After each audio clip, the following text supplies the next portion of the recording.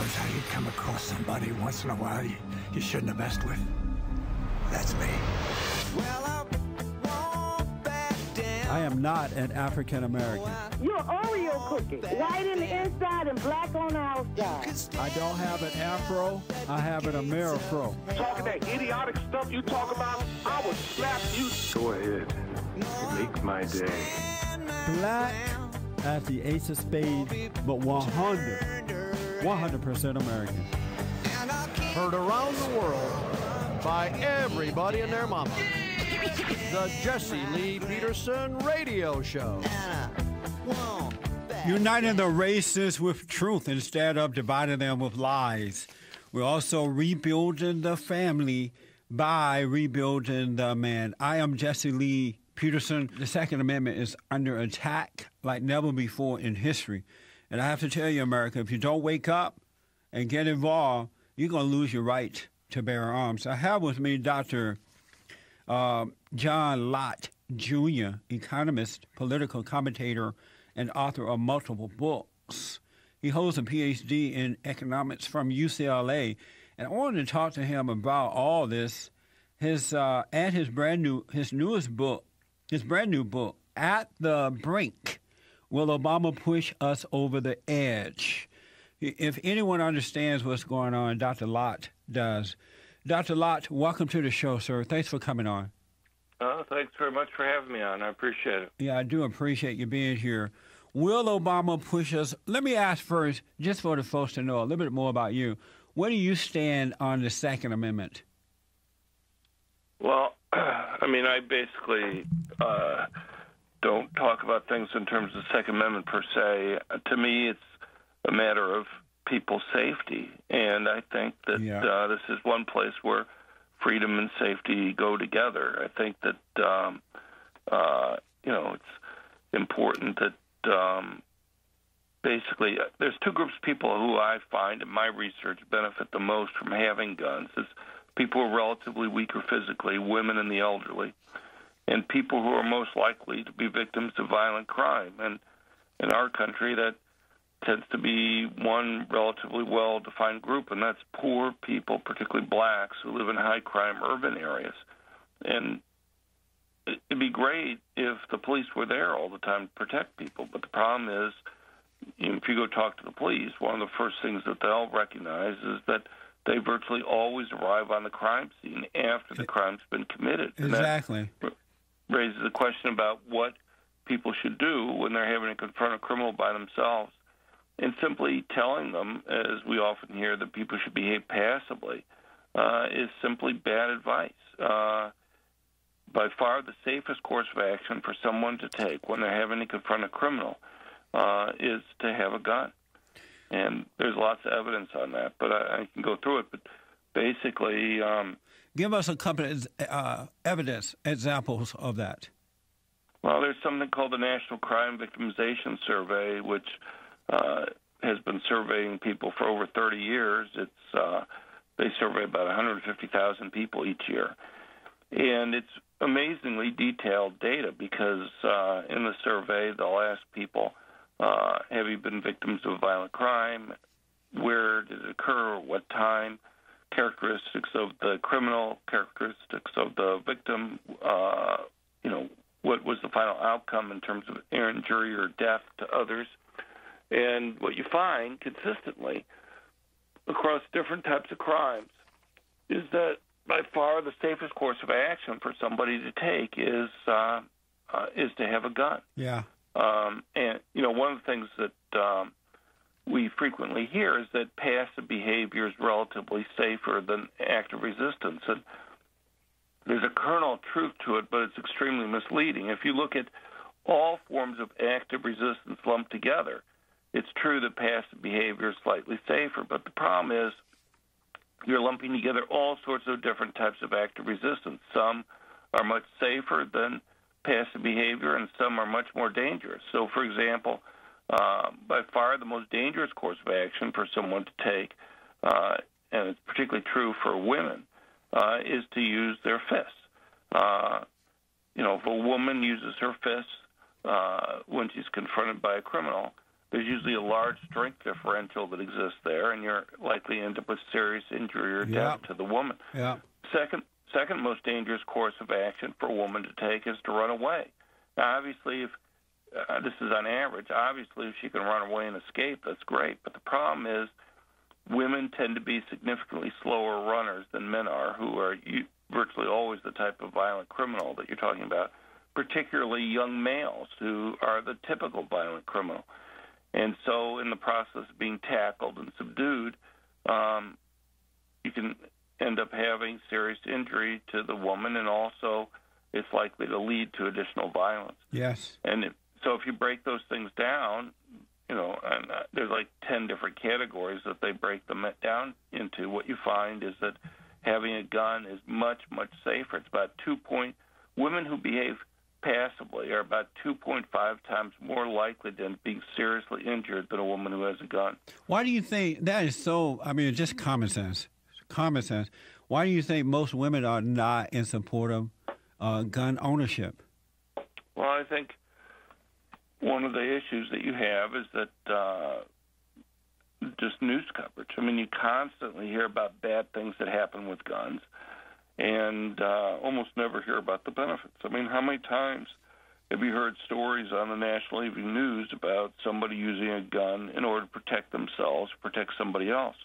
Uh, you know, virtually never hear about those types of stories. Yes.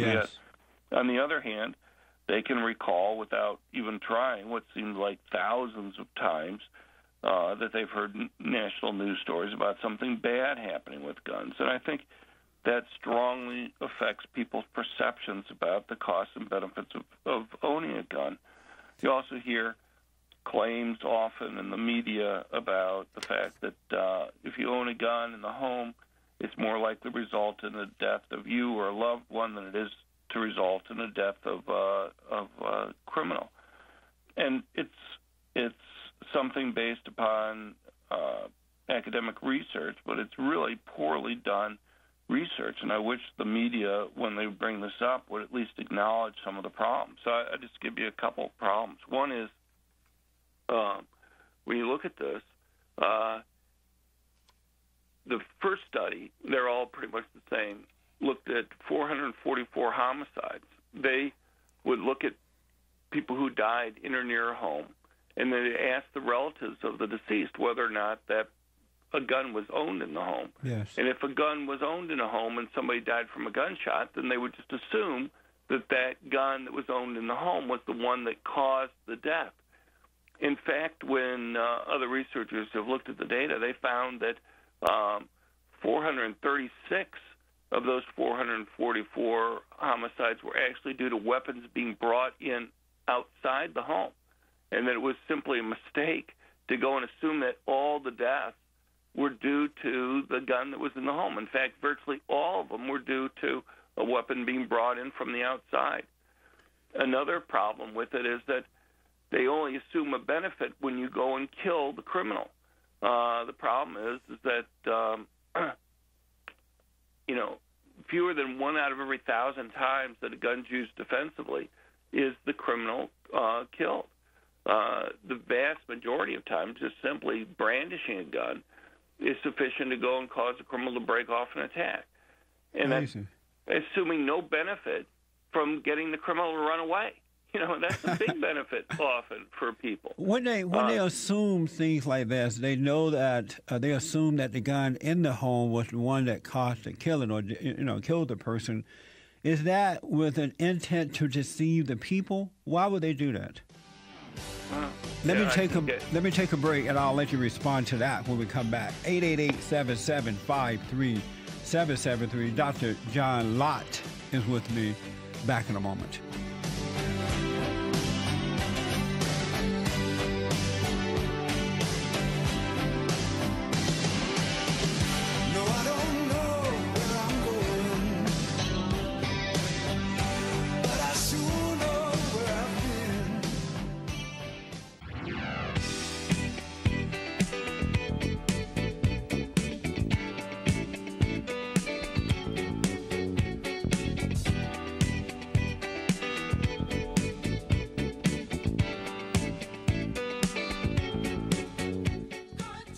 Okay, folks, I'm trying to uh, explain or understand what's going on here, taking away our right to protect ourselves.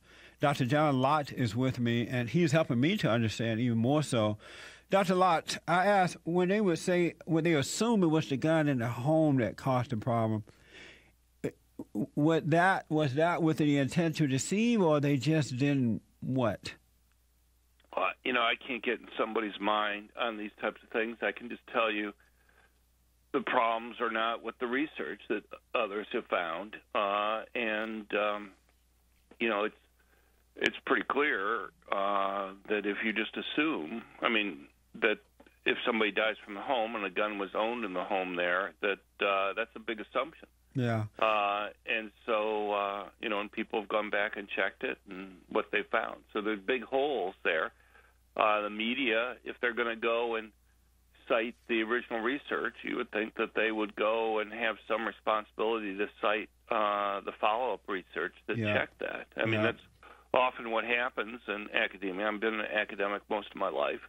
That um, you know, uh, initial studies have problems with them, and uh, hopefully, uh, if there are problems, uh, people will look at it and fix those issues. Uh, you know, there are other problems beyond the two that we just talked about, Yeah. uh, kind of logical issues about how the test was set up, too, that we could go into. But You um, know, you mentioned that in the beginning here, the opening, that uh, Black Americans need these need guns in the inner cities, especially. You know, I can think of Chicago, as you know, but most of the uh, inner cities, Black Americans need to be able to protect themselves because crime is out of control. I grew up on a plantation down in Alabama, and my great grandfather uh, ran uh, the plantation for a while. And uh, long story short, there was a black man who was fired from another plantation. My great grandfather hired him. The uh, white owner of those other plantations didn't, of the other plantation didn't want my great grandfather to hire him, but my great grandfather said, "Yes, I'm gonna do it anyway." They came for my my grandfather in the middle of the night. He had his gun under the bed, and he was able to run them off because he had a way to protect himself. Himself, and then they came back another night and my he went for this gun and his wife had moved the gun and they were able to kill him in his bed. And uh, and so people asked well why did you move his gun? Why did you take his gun away? She said oh i was trying to protect him i'm, like how are you going to protect him by removing his gun and i think people don't really see the need to protect yourself from the criminals Right.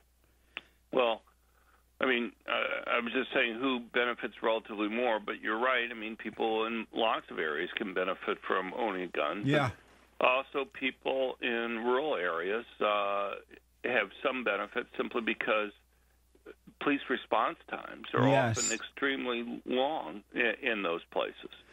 I want to ask you about this because of time, and I'm sorry to rush here. Your book, uh, At the Brink Will Obama Push Us Over the Edge? Uh, what is that about? What do you mean by that?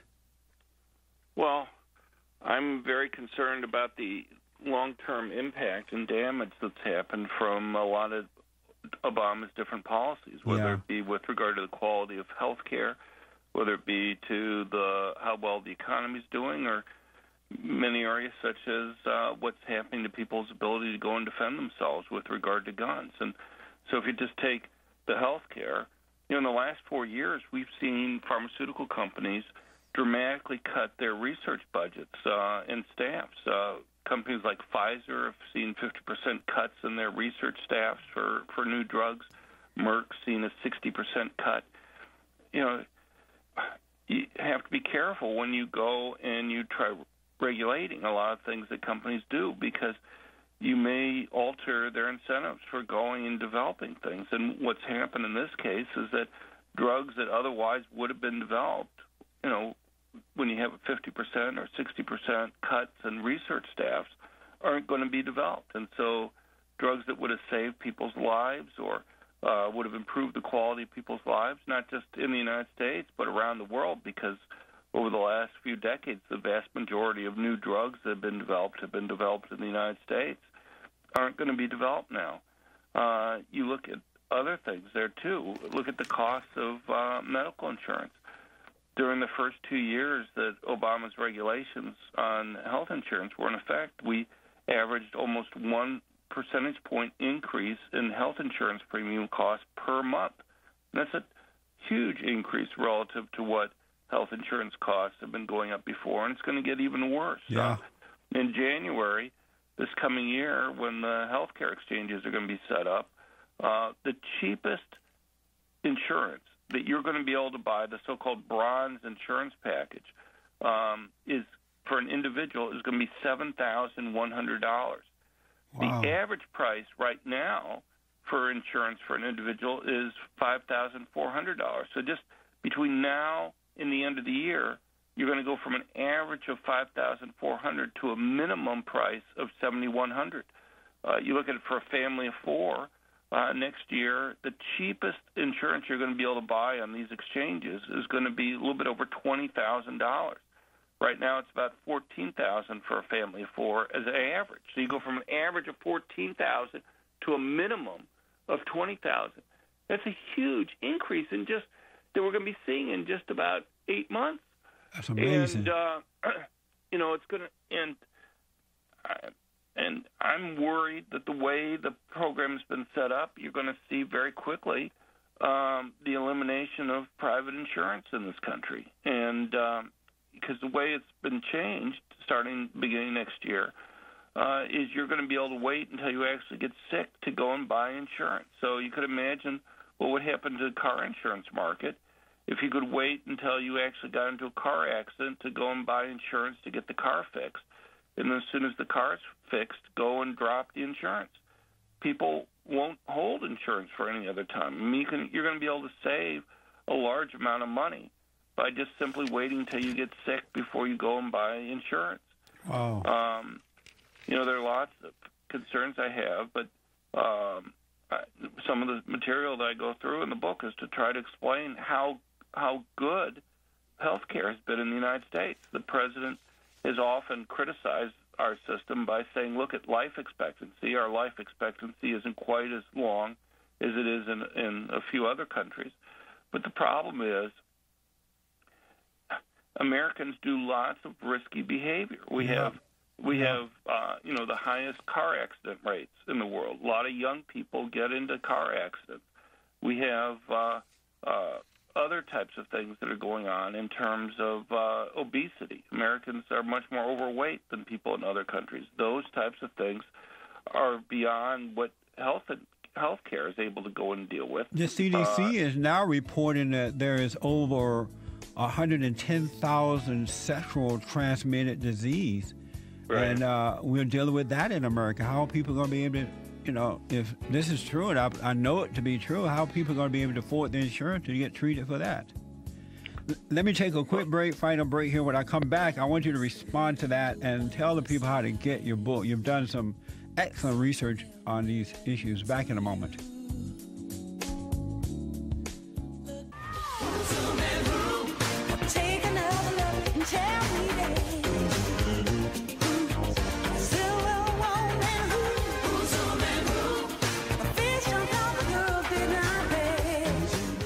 As you can tell, if anyone understands the issue of guns and the right to protect yourself, uh, the um economic situation, my guest, Dr. John Lott, understands. He's done some extensive research on on these and other issues.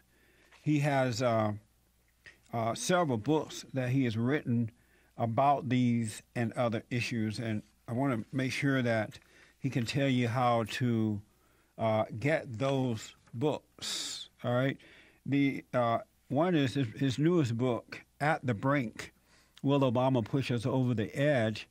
He's also written. Uh, uh, he's the author of of More Guns, Less Crime, and and, and on and on.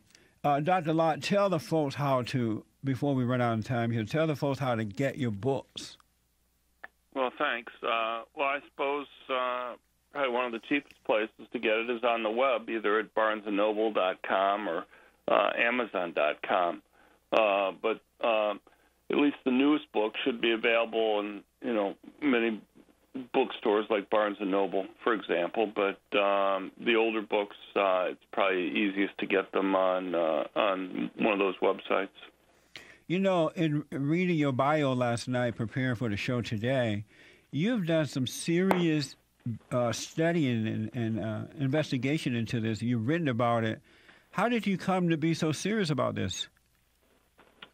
Well, uh, I suppose I just kind of backed into uh, the issue, and that is uh, I was teaching at the Wharton Business School at the time, and uh, some students had come up to me after class and asked me if um, I could go and talk about uh, gun control issues. Uh, I was teaching a class that was dealing with crime generally, and uh, it forced me, even though I'd done a lot of research on gun, on crime at the time and had been chief economist at the United States Sentencing Commission, I'd never really been very interested in uh, in the issue of uh, gun control, and it forced me to to look at the existing literature, and uh, I was just amazed how badly it w- was done. I mean, you Yeah. could, uh, uh, you know, I'd been familiar with some of the research, but I hadn't really been interested in the area, but I kind of assumed that there was other good research out there, even though what I'd seen before uh, wasn't very strong. And I was just shocked by how poorly done it was. And one of the reasons why people go and do academic research is uh, in an area is because they think they can do a better job or they have a, a new idea that nobody's thought of before. And um, you know, in this case, uh, it was I just thought I could do a better job than people had done previously. I And, think you uh, have. I have to say, I've never seen such um, in-depth research on this issue. Uh, let me just ask this in my final question for you: If you took a random low informational person off the street, you know, who who doesn't feel strongly either way about uh, an increase in gun control, what would you tell that person? Well, I would just say that uh, you know most people get their information about uh, guns from just listening to the media, where you go and you hear constantly about bad stories, virtually never hear about the benefits, and that gives people a real misconception about the relative costs and benefits of uh, people owning guns. Uh, you know, um, uh, the FBI estimates how many gun crimes are committed each year. They just can't rely on on crimes that are reported to police because not all crimes are reported. Only about half of gun crimes are reported. And so they go and they do a survey to try to figure out what is the actual rate of gun crime and they estimate right now it's about 350,000 times a year that guns are used in commission crime. Those same types of surveys are used to try to figure out how often people use guns defensively. And in fact, those show that people use guns defensively about 2 million times a year. So people are using guns defensively more than five times more frequently each year to stop crime than they are to commit crime. But if you were to ask most people who are simply relying on the media uh, what they consider to be newsworthy to determine, you know, how often these things occur, they think it's even more often the other way.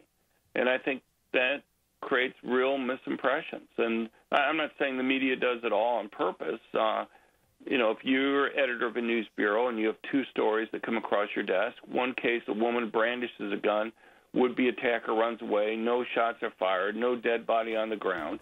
And as we mentioned before, about 95% or so of the times people use guns defensively, that's all that happens. Amazing. Uh, versus another case where a dead body's on the ground, with a sympathetic person like a victim.